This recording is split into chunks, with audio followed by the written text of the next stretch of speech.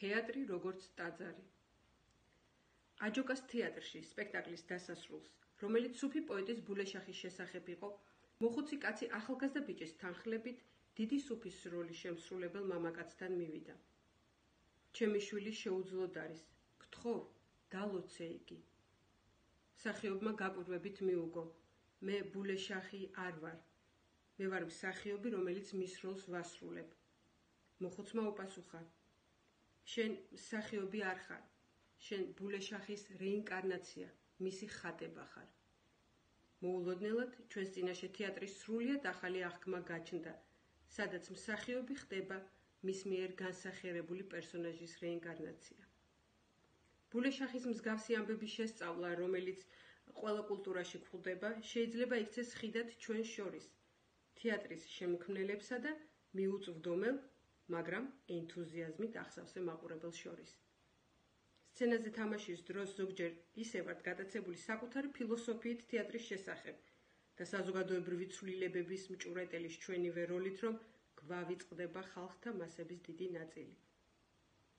ამჟამინდელ გამოწვევებთან ბრძოლაში ჩვენ საკუთარ თავებს ვართმევთ იმ სიღრმისეული სულიერი გამოცდილების შესაძლებლობებს, რასაც თეატრი გვაძლევს. დღევანდელ სამყაროში, სადაც ფანატიზმი, სიძულვილი და ძალადობა იზრდება. ხოლო პლანეტა კლიმატური კატასტროფების წინაშე დგას. ჩვენ უნდა აღვიდგინოთ სულიერი ძალა. ჩვენ უნდა ვებრძოლოთ გულგრილობას, უსიცოცხლობას, პესიმიზმს, სიხარბეს და უგულველყოფას იმ სამყაროსი, სადაც ვცხოვრობთ და იმ პლანეტის, რომელზეც ვცხოვრობთ. თეატრს აქვს კეთილშობილური როლი მისცეს კაცობრიობას ენერგია და დაეხმაროს მას უბსკრულიდან თავის დაღწევაში. მას შეუძლია სცენა წარმოდგენის ადგილი გადააქციოს საკრალურ სივრცედ. სამხრეთ აზიაში მსახიობები მოწიწებით ეხებიან ფიცარნაკს, რომელზეც შემდეგ შედგამენ ფეხს. ეს არის უძველესი ტრადიცია პერიოდიდან, როდესაც სულიერი და კულტურული ძალიან მჭიდროდ იყო ერთმანეთზე გადაჯაჭვული.